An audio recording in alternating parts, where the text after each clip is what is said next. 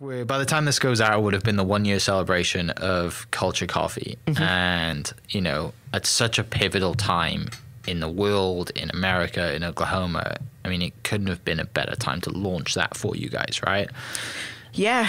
Um, Tell me about all that stuff because there's so much stuff that's gone on and so much stuff in that. I mean, as well as the coffee being amazing and all the specialty ones that you do, which I mean, that's a whole different conversation we could definitely dive into. But um, you know, with the having a food, having a restaurant for five years, where did the idea come to have coffee? to have coffee. Yeah.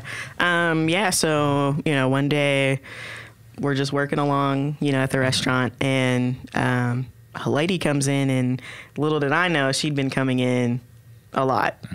And uh, she finally, you know, came over and spoke to me and she was like, you know, I'm interested, you know, to know like if the owners of this place she didn't know I wasn't one of the owners Yeah. but she says I'm interested to know if one of you the owners would be interested in opening up a coffee shop um, and I was like mm, I don't know nothing about that Yeah. I don't know and so I said well I can definitely you know Yeah. tell them about it you know and, and see if that's something that they might want to do or whatever but obviously we didn't know anything about Yeah. restaurants so clearly we know nothing about coffee um, you know besides my dad wakes up every morning gets his black coffee and that's Yeah. it you know but uh, yeah so she um, you know sends me all the information and everything and i tell my parents and they were like man i don't know about this Yeah. you know this is already a struggle you know with restaurant you have the overhead and it's just a lot and so um, we ended up just going over to look at the area and we mm-hmm. were like man this area is really cool Yeah. you know you're right by ou medical center two minutes away from downtown, you mm-hmm. know, which is great because people, I think people like the idea of like downtown. Yeah. Oh, it's downtown. I can be, you know, go to all these different places because Yeah. it's so close. But They never go. hate, Yeah. they hate like, oh man, parking's terrible. Right. Oh man, you got to pay to do every little thing you want to do down there. Yeah. So the idea of it is great. Right. But um, yeah, so we were like, man, to be so close to downtown, that's awesome. And then, you know, just knowing and learning about the history of, you know, that that area. It's it sits in between um, 8th Street and 4th Street. And 4th Street is kind of like if you take 4th Street down like to downtown, you'll hit Deep Deuce area pretty much. Yeah. So that whole little circle is um, ingrained with a lot of like African American history, and um, you know a lot of people don't know about it. Yeah. So um, you know we figured, man, this could really be something. You know, you know, like we could be like some trailblazers here. Right. Yeah. And so um, we ended up, you know, getting back, and we were like, you know what, I think I think this is something we want to do. Yeah. Um, but side note, um, because of our poetry lounge, you know, three four years ago, I had a friend that actually is an avid coffee drinker. Yeah. So you know, I I talked to him about it, and he was like, "Yo, I'd love to, you know, be a part and you know, show you guys around, take you to some shops." You know, Right. so we kind of went to a couple of shops, and his favorite shop to go to was Clarity. Okay, yeah. yeah, Downtown. there? Yeah, Yeah, downtown. uh-huh. So Is it Steven and yeah, Steve. Jen, maybe? I think. Uh-huh. Yeah. Yeah. Yeah. Yeah. And so when we went there, um, you know, the vibe was awesome. Mm-hmm. Um, you know, they didn't know who we were or anything, Yeah. but they were gracious enough to set up a whole like tasting for us. Really? Yeah, you know, That's and they were kind of talking through some of the coffees. Um, and you know, Steve was like, "Whatever you guys need, I can help you with it." Yeah. And at the time, uh, he was still, uh, I think, part owner of Killer Coffee Sure. too. So he was like, you know, we can set you up with coffee. We can get you the equipment. We can, you know, Yeah. help you with the build out as far as layout and stuff. So he was a really, you know, it's kind of like a godsend. Right. So and effectively, that's some of you. That's competition for you, right? You know, like I kind of would have bit. been like opening up a coffee shop. Like he could have seen you as competition and thought, no, Yeah. uh, I'm not going to help you guys. Yeah. Like you're on your own. And what's crazy, Yeah. like in the restaurant business, that's all you have is like a lot of competition. And it's like anytime you see somebody pop up, it's like, oh man, they're going to be stealing, some of my, my customers, But yeah. what I've learned in the coffee world, Totally different. totally different. It's almost really like to hear. it's almost like people want you Okay. there. They they are like the more the more coffee places, the better. You know, and I think that you know being a black owned coffee shop is something that Oklahoma I don't think has ever seen before. Oklahoma City Yeah. has never seen before. So um, it definitely is like a challenge for us. Mm-hmm. Um, but I think it's something that you know everybody is like, man, I'm so glad Yeah. that you know there's something different. Right. You know? Yeah. Is there like uh, to that point, like being a black-owned coffee shop, is there like a stigma around coffee that's like for that? Did you have to overcome anything like that? Because I'm thinking like all the coffee shops I'm thinking of, I'm like, I mean the ones that are downtown, but like it's. I don't know. Is there was there a difference? Like, why isn't there black-owned coffee shops? I mean, is is it not something that that you guys like think about coffee? I, I, I don't know. I mean, I I'm the same as you, right? I do. Not, I'm not a coffee You're a person coffee at all. I like press the coffee machine maker Right, and add a bit of yeah, add a bit of milk, and that's it. Right. This is about as far as I go. Yeah. But I have friends who are like super into their coffee and Yeah. make you know they spend like seven hundred dollars on a machine in their house, and I'm like, "N- n- why would you do that? You Yeah, know? yeah. So I yeah, I mean, I, I, I would you know curious to know why there hasn't been one already, and then. I mean, for you, obviously, it seemed like the right thing to do in time, but Yeah. um, and coming from a non-coffee background too. I think that a lot of, um, I would say that like the African American culture, we drink coffee, but specialty coffee is something different.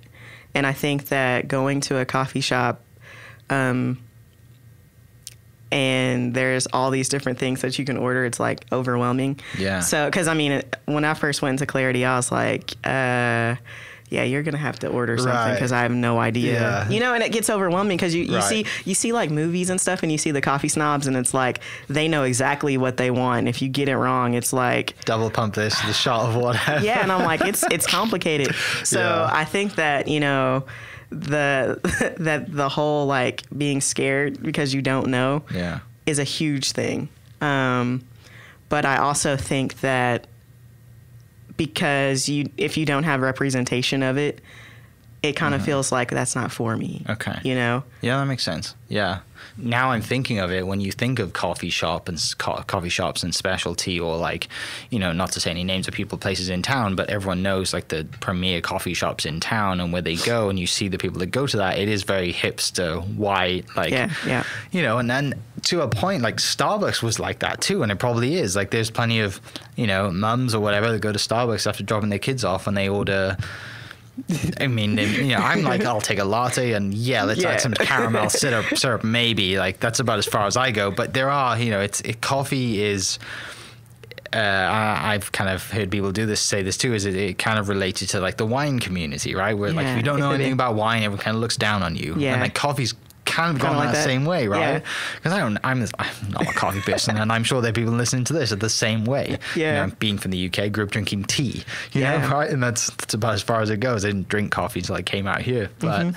um, yeah, I'm sure it was super interesting to get into that, right? And then dive in and have and learn and and all this stuff that's going on, and through a friend who likes coffee, and that would have been a great help too. Yeah, um, I could say also, you know, like as far as not being, not seeing other, you know, black-owned coffee shops, I think that, you know, we don't know how expensive that is, You know, Mm-hmm. Yeah. the startup of coffee is is super expensive, especially you know. Um, you know, equipment, things that you need. Your espresso machine alone is like sixteen grand. Jeez, that's a I, yeah. I, I mean, I didn't know that. That's crazy. So it's like, oh my gosh, I'm Yeah. gonna spend this much money for one piece of equipment. That's why coffee costs six bucks, right? right and that's another thing that as far as like you know talking about you know why um you know african american people might not go to um, coffee shops it's because the price of buying a cup of coffee Mm-hmm. Yeah. and you know something that i had to learn was you know how many times you know a bag of coffee gets you know how it's sourced Mm-hmm. and what it takes to get here and then what it takes for us to make it Yeah. you know it's not cheap Right. so and then you know when you go to starbucks yeah you might can get you know the huge sizes or whatever Mm-hmm. but what i've learned is that um, local coffee shops really care Mm-hmm. um, you know down to who's who's who's uh how could you say that like the farmers who are Yeah, picking it. Like yeah, there's the no farmers middleman. It's like trying getting it straight from the source to help them out, so they get much of it, right? Yeah, because it's a it's pretty rough. You know, Yeah. Mm-hmm. people are out there literally, you know, Yeah. and we look at it like, oh man, I I had no idea that that was happening. Yeah. So. Yeah, um, they like typical like I mean, and it's I, it, obviously it's it's in coffee a lot, but it is in other industries as well. If you're a farmer, but you're right, like it's there's so many like middlemen taking their cut and, Yeah. and marking up, or but the money that like you have paid for the coffee, the farmer isn't seeing nowhere near that amount, you know, and it's it's sad sometimes, right? Because they kind of bigger companies come in and they just Yeah. kind of wave their big wand around and hey we're a big company we're gonna Yeah. you know and kind of push people around but thankfully there are other middlemen companies out there that are for the farmers, right? Kind of Sure. the conversations I've had with a friend of mine who owns a coffee shop. He, you know, he went with that company and was like, "Yeah, we're going to go and meet the people and do Mm-hmm. it," which is so cool to go to Guatemala or Yeah, that's so you know. cool. Yeah, hopefully like one day we can you know we'll get there Mm-hmm. but you know like we use um we go through either killer or prelude um for our beans and Mm-hmm. stuff so you know they have relationships with whoever Yeah. they get it from and you know? Yeah. So, so when this lady comes to you and thinks about coffee, and you start doing research and think, "I'm going to go all in," yeah. what time of year was that? That was before COVID, like yeah so we started this probably like mid 2018 okay, So, um, yeah, we were, you know, doing the planning of it, you know, trying to come up with names, trying to do all that, you know, and the area that we are in was a brand new um, place. It's on the bottom of an apartment complex. So the place had been sitting empty, nothing in there. Yeah. So I think what, what some people don't know is whenever you go to a place where nothing's in it, you have to do the build out. yeah, So that was the next part. So it took us like a, a good year to even get that going. You know, I had Yeah. a friend because of, you know, the lounge. I had a friend that uh, was an architect. He went to OU and um, he had never done like commercial spaces. So uh, I reached out and I was like, hey, would you be interested in, in you know, designing this, this Yeah. shop for us? And he was like, heck yeah. I've never done, you know, a large project like this, but I'd love to do it. yeah, And so um, his work was super good. Um, he didn't actually build it, but the design plan Sure.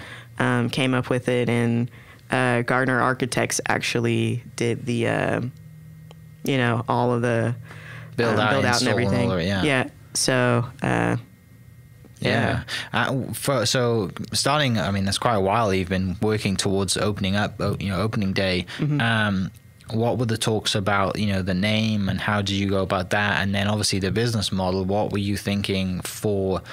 Because I think coffee shops around here, every one of them has like their identity, right? You've got to have that Sure. to, you know, like in a brand and, and just whatever it is that, you know, you are going to center around. Mm-hmm. What were the talks like when you were thinking of that? yeah, name wise, that was hard because we didn't know what we were. I mean, it went from you know we look up coffee names. Oh, perk, that's a word. Yeah. You know, uh, jitters, that's a word. Uh, you know, we think of all these things, and it was like I don't, I don't know if this connects. And so um, I don't know. One day in in conversation. Um, I don't know if I said it or, or who said it, but somehow somebody said, "Oh, we could just do it for the culture," and I was like, uh, at the time, that was like a saying that everybody was saying, "Oh, do it for the culture, do it for the culture," and I was like, Buzzword. at first, Yeah. I was like, "Man, this is so cliche. I'm not for it. I do not Yeah. think this this is gonna work." And so, I think. Um, you know, as you're coming up with names, you always try to like keep saying it so you get used to it. So, um, you know, we just kept saying, ah, culture coffee, Yeah. culture coffee. And then I kept thinking, I was like, well, it doesn't necessarily have to be, you know, about culture of people. It could be, you, we could be saying, you know, that coffee has its own culture, you know, Yeah. with kind of like what we're talking about with, you know, how the farm process and how, Right. you know, and so I was like, yeah, maybe maybe we can do that. Maybe let's go with Culture Coffee. So we kind of landed on that name and um, you know, just conversations about what it would look like. I had no idea. Yeah. I mean, the first day of doing like our soft launch, I was scared as all know what, you know, because I was like, Yeah. you know, I, obviously uh, because I don't drink coffee, I don't actually make um, coffees, you know, like Right. lattes. Now I can do, you know, I can make you a drip coffee because you're just pushing a button. Same. But Yeah. you know, the craft coffee with espresso drinks and lattes and things like that. Um, you know, we had to find some a team of people Yeah. and Killer, you know, really gave us a great um, barista. She's also a, a black barista. Her name's Talitha. Um, she was amazing. Yeah. She uh, really helped formulate our team um, of people that we have now currently, in um, she really like helped train us and like teach us, you know, how we can make this work. And she was like, "You guys can do it. It's not, you know." All the people that I have on staff with me have currently worked at other Okay. shops, so they knew coffee, but it was kind of like Right. this is different. So, you know, how do we make this work? And so one day, um, one of our employees says, Hey, have you ever got, have you ever heard of like cereal milk lattes? And I was like, Yeah, I've heard of that. I've never Yeah. had it. Is it good? You know? And he was like, It's really good. I think we should try it. So this is kind of, COVID's happening, right? Sure. Yeah. So this yeah, is you've launched at this point. yeah, we've launched. Yeah. We've launched at this point. point, and Yeah. so we did the first two months. Um, March rolls around, we had to close down, and um, we come back in June, and I just we just hired another guy to come on, and so. Um, so he's mentioning, you know, the, the, the cereal milk. And so, um, you know, one day I was like, all right, I'm gonna go get a box of cereal and we'll try it. So we tried, uh, I think it was cinnamon toast crunch. I was like, oh my gosh, this is so good. It is, and at the yeah. time, I didn't know like how many shops in Oklahoma City were doing cereal milk lattes. Mm-hmm. But I think that uh, Leaf and Bean may have been like one of the Sure. other shops that were doing it. But I think we kind of took it and ran with it. Yeah. because it like kind of blew up and like we had people come in, you know, from everywhere trying to get these cereal milk lattes.